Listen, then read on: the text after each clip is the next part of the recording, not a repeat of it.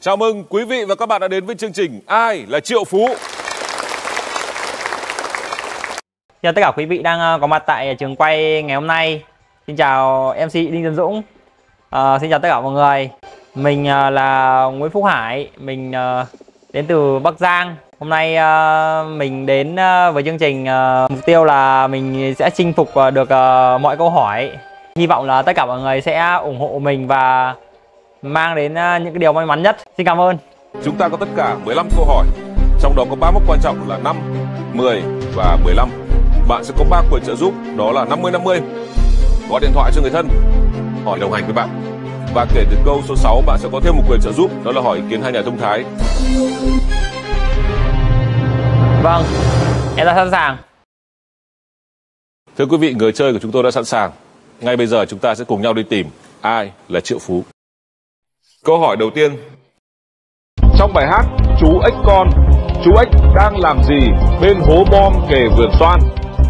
Nấu ăn, tắm rửa, học bài hay là dọn dẹp? Bài hát này là bài hát thiếu nhi hồi còn bé này. Thì uh, chú ếch con uh, đang học bài bên hố kè hố bom kè vườn xoan đó là đáp án của em là C học bài ạ. Xin mời vỗ tay ạ, hoàn toàn chính xác.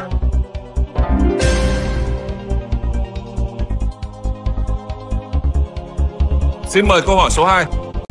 Ai đứng như bóng dừa, tóc dài bay trong gió là lời hát về người phụ nữ ở miền đất nào? Cà Mau, Kiên Giang, Long An hay là Bến Tre? Bài hát này là bài hát giảng đường Bến Tre nên là đáp án cuối cùng của em sẽ là D, Bến Tre. Chắc chắn rồi, hoàn toàn chính xác.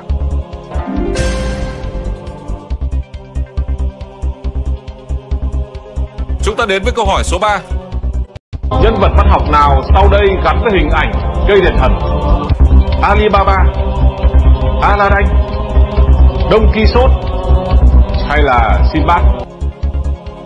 Ờ, hồi xưa có câu chuyện đó là Aladdin và cây đèn thần nên là đáp án của em sẽ là B Aladdin Chắc chắn rồi, hoàn toàn chính xác.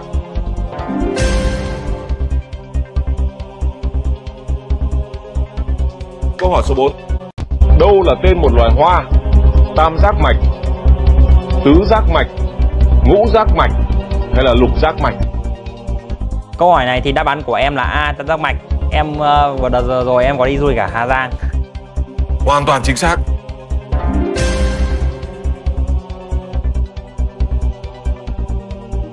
Câu hỏi số 5.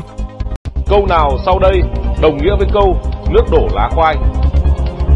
Nước chảy đá mòn, nước đổ đầu vịt, nước bắt chảy xuôi hay là nước mặn đồng chua? câu trả lời của em là B nước đổ đầu vịt Chắc chắn rồi, hoàn toàn chính xác.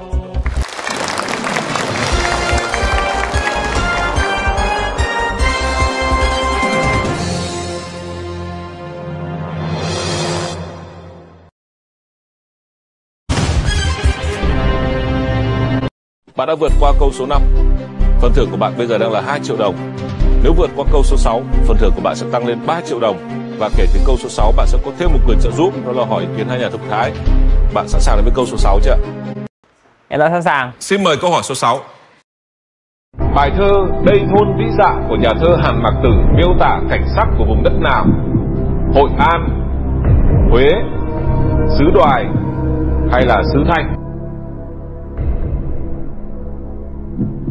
đây thôn vĩ dạ của nhà thơ Hàn Mạc Tử được miêu tả cảnh sắc của vùng đất nào à em nhớ là bài thơ này thì em đã được học năm lớp 10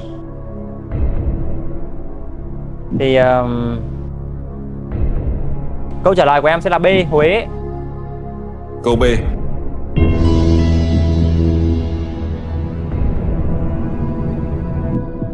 Có lẽ là bản thân tôi muốn được nghỉ một chút, chúng ta nghỉ một ít phút.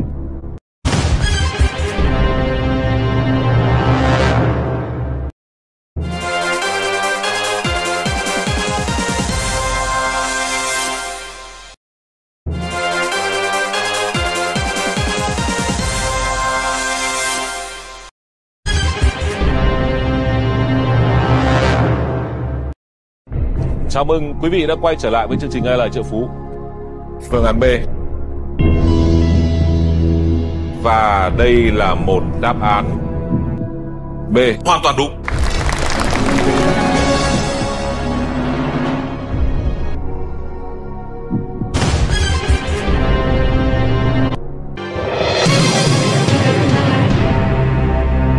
Như vậy là người chơi của chúng ta đã vượt qua mốc số 6, phần thưởng hiện tại bây giờ đang là 3 triệu đồng. Nếu vượt qua mốc số 7, phần thưởng sẽ tăng lên là 6 triệu đồng. Và bạn vẫn còn nguyên cả bốn quyền trợ giúp.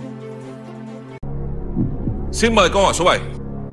Cuộc khủng hoảng cơm gà diễn ra vào đầu tháng 6 năm 2022 tại Singapore diễn ra do lệnh cấm xuất khẩu gà từ nước nào?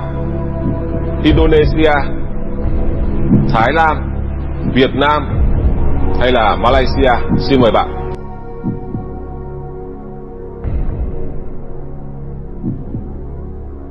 Cuộc khủng hoảng cơm gà diễn ra đầu tháng 6 năm 2022 tại Singapore diễn ra do lệnh cấm xuất khẩu gà từ nước nào ạ? À?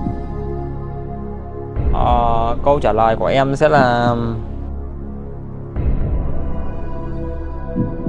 D. Malaysia Em khá chắc chắn với đáp án này ạ.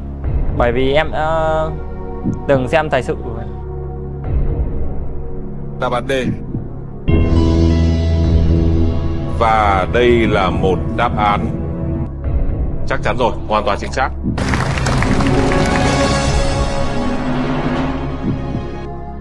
Theo thông tin cho bạn nhiều năm qua, 1 phần 3 lượng gia cầm nhập khẩu của Singapore là từ nước láng giềng Malaysia. Đầu tháng 6, Thủ tướng Malaysia ra lệnh cấm xuất khẩu gà sống sang Singapore.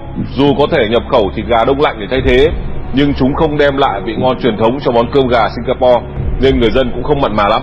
Thông tin chính xác thì là do Malai cũng bị thiếu gà.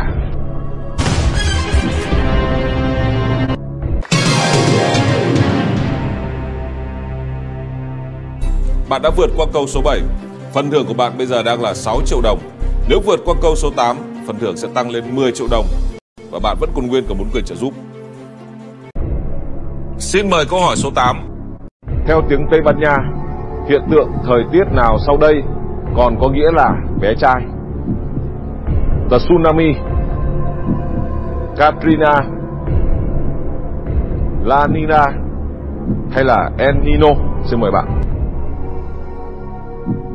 Ờ, em thì có xem bóng đá và em rất là thấy quen thuộc ở cái phần câu đáp án đó là Enino ấy. Bởi vì hồi xưa là cũng có uh, biệt danh của cầu thủ Torres. Vậy nên uh, mà Torres thì là người Tây Ban Nha là cầu thủ người Tây Ban Nha. Vậy nên là đáp án của em sẽ là D Enino ạ. Đáp án D là đáp án cuối cùng.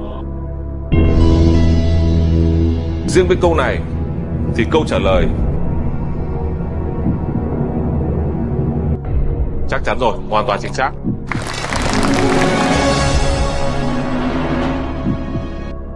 El Nino là một hiện tượng khí hậu tự nhiên sinh ra trong vùng nước ấm bất thường ở phía đông Thái Bình Dương. Lúc nghiêm trọng nhất thường diễn ra vào trước và sau lễ Giáng sinh. Do đó, những ngư dân gọi hiện tượng này là El Nino, tức là con trai của Thượng Đế, Chúa Hải Nhi. Đấy là thông tin thêm. Với câu trả lời rất nhanh của mình, bạn đã vượt qua câu số 8. Phần thưởng của bạn bây giờ đang là 10 triệu đồng. Nếu vượt qua câu số 9, phần thưởng của bạn đã tăng lên là 14 triệu đồng. Và bạn vẫn còn nguyên cả bốn quyền trợ giúp. Xin mời câu hỏi số 9. Ngày mùng 1 tháng 12 hàng năm là ngày thế giới phòng chống căn bệnh nào? Lao, sốt xuất huyết, AIDS hay là ung thư?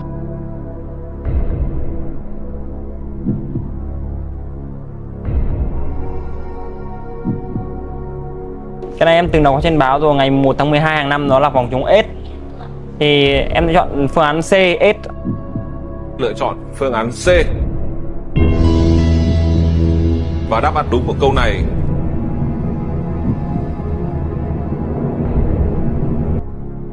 C. Hoàn toàn chính xác.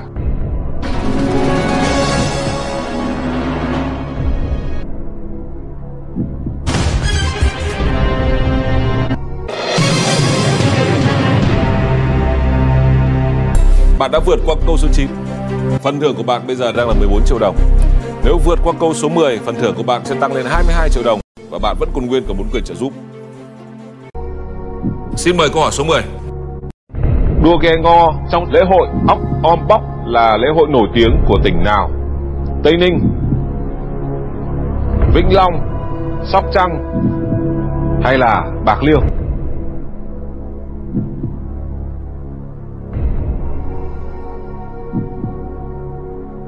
Câu này thì em sẽ dùng trợ giúp đó là hào hải ý kiến của ông Hành ạ. Người đồng hành với bạn. Trợ giúp cho người chơi của chúng tôi, mời bạn.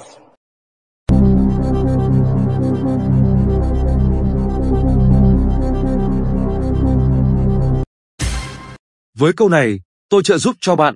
Đáp án C. Xin cảm ơn bạn. C. Lựa Trăng. chọn phương án C. Đó là chồng em. Và đáp án đúng của câu này. Phương án C, Hoàn toàn chính xác.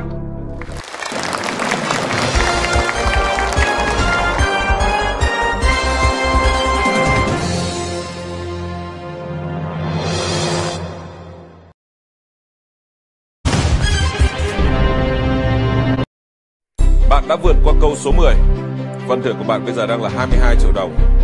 Nếu vượt qua câu số 11 Phần thưởng của bạn sẽ tăng lên 30 triệu đồng Bạn sẵn sàng đến với câu 11 chưa ạ? Vâng ạ. lâu lắm tôi mới được ờ, ký xét và Xin cảm ơn chương trình đã trao giải thưởng xin mời câu số 11 Ngày 18 tháng 12 hàng năm được Liên Hợp Quốc chọn là ngày kỷ niệm quốc tế ngôn ngữ nào trên thế giới? Tiếng Nga, tiếng Ả Rập, tiếng Pháp hay là tiếng Tây Ban Nha? Và với câu này thì em hoàn toàn có thể chọn một phương án nào đấy mà tùy em. Câu này thì em có thông tin nên là em dùng trợ giúp đó là hỏi nhà thông thái ạ. Hỏi ý kiến nhà thông thái. Chúng tôi xin phép được kết nối cùng các nhà thông thái ạ.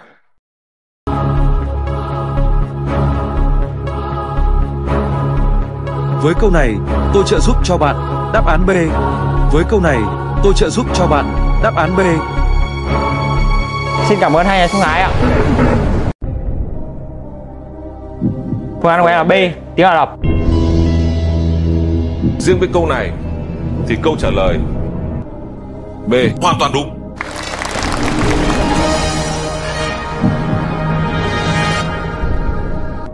Ngày 18 tháng 12 hàng năm là ngày kỷ niệm quốc tế tiếng Ả Rập, một trong sáu ngôn ngữ được sử dụng chính thức tại Liên Hợp Quốc. Bạn à, muốn có một tấm séc của tôi và bạn đã hiện thực hóa được việc đấy. Xin cảm ơn chương trình ạ. Xin mời câu hỏi số 12. Tháng 5 năm 2023, hãng đồng hồ Thụy Sĩ Christopher Claret đã ra mắt đồng hồ khắc họa nhân vật lịch sử nào của Việt Nam? Hai Bài Trưng, Ngô Quyền, Quang Trung hay là Đinh Bộ Lĩnh? Câu này em phân phân vân giữa Ngô Quyền và Hai Bà Trưng ạ. Nên em đừng dùng sự rút 50 50 ạ. 50 50.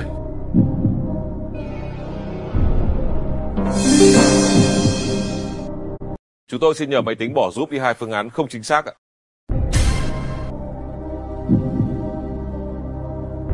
Em đang phân vân về Hai Bà Trưng nhiều hơn nhưng mà Ngô Quyền cũng có tên, tên tuổi riêng.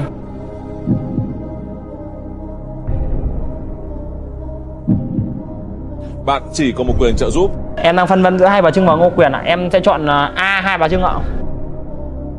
À.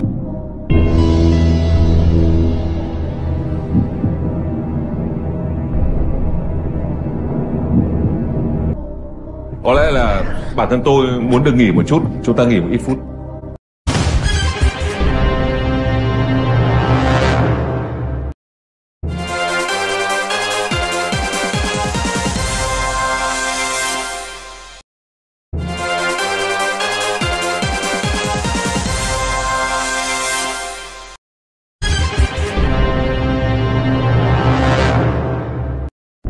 Chào mừng quý vị đã quay trở lại với chương trình Ai là triệu phú. A là đáp án cuối cùng của bạn. Và đáp án đúng của câu này. À, xin chúc mừng bạn. Hoàn toàn chính xác.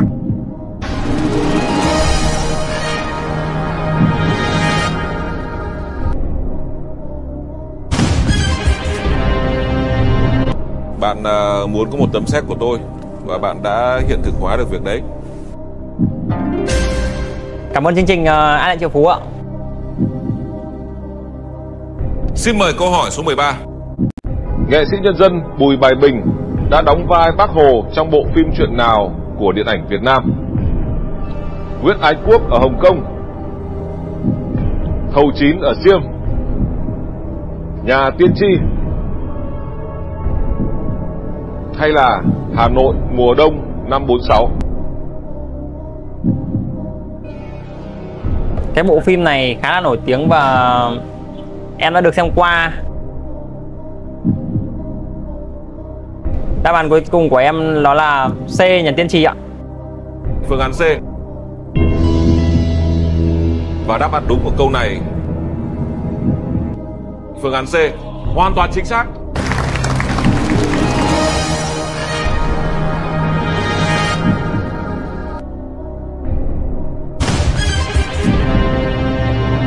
Bạn à, muốn có một tấm xét của tôi Và bạn đã hiện thực hóa được việc đấy Em xin nhờ anh Đinh Tiến Dũng giữ hộ giải thưởng này để em uh, tiếp tục uh, chinh phục các câu hỏi tiếp theo ạ. Xin mời câu hỏi số 14. La Sơn Phu Tử là tên hiệu của vị danh sĩ nổi tiếng nào? Ngô Thị Nhậm, Nguyễn Thiếp, Phan Huy Chú hay là Nguyễn Trường Tộ?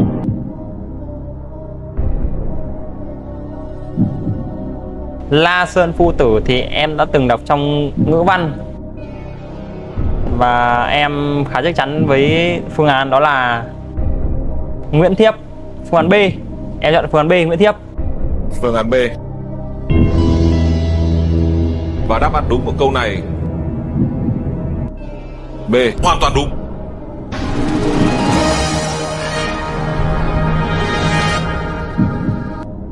ờ, Nguyễn Thiếp tự là Khải Xuyên là danh sĩ cuối đời hậu Lê và Tây Sơn trong lịch sử Việt Nam. Ông là người xây dựng Phượng Hoàng Trung Đô, thủ đô mới của Vương triều Tây Sơn. Bạn uh, muốn có một tấm xét của tôi và bạn đã hiện thực hóa được việc đấy. Em cảm ơn anh Đinh Tiến Dũng ạ. Em sẽ tiếp tục câu hỏi tiếp theo ạ. Xin mời câu hỏi số 15 Loài cây nào trên thế giới có tên gọi trong tiếng Anh là Traveler Tree Cây của lữ khách? Cây huyết rồng Cây chuối rẻ quạt Cây tuyết tùng Hay là cây bao báp Câu này thì uh, em không có thông tin nên là em sẽ quyết định uh, còn một sự trợ giúp thêm sẽ quyết định dùng nốt ạ. Gọi điện thoại cho người thân.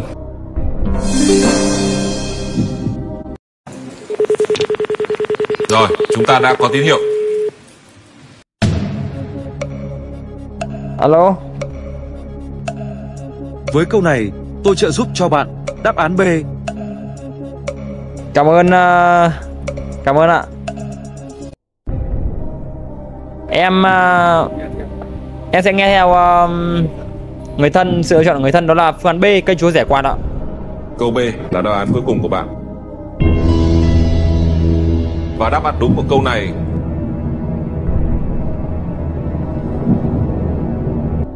Chắc chắn rồi hoàn toàn chính xác.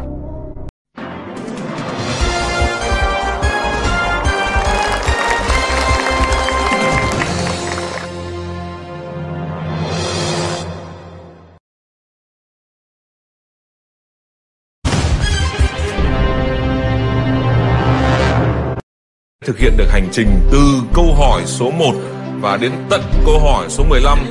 Xin chúc mừng bạn. Và xin thay mặt chương trình tôi sẽ gửi tặng bạn tấm xét của bạn. Xin cảm ơn chương trình và người dẫn chương trình Đinh Hiền Dũng ạ.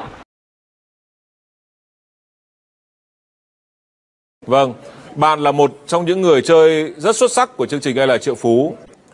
À, rất cảm ơn bạn vì à, đến tham dự chương trình và có một phần thi hết sức xuất sắc và đây là phần thưởng rất xứng đáng với bạn.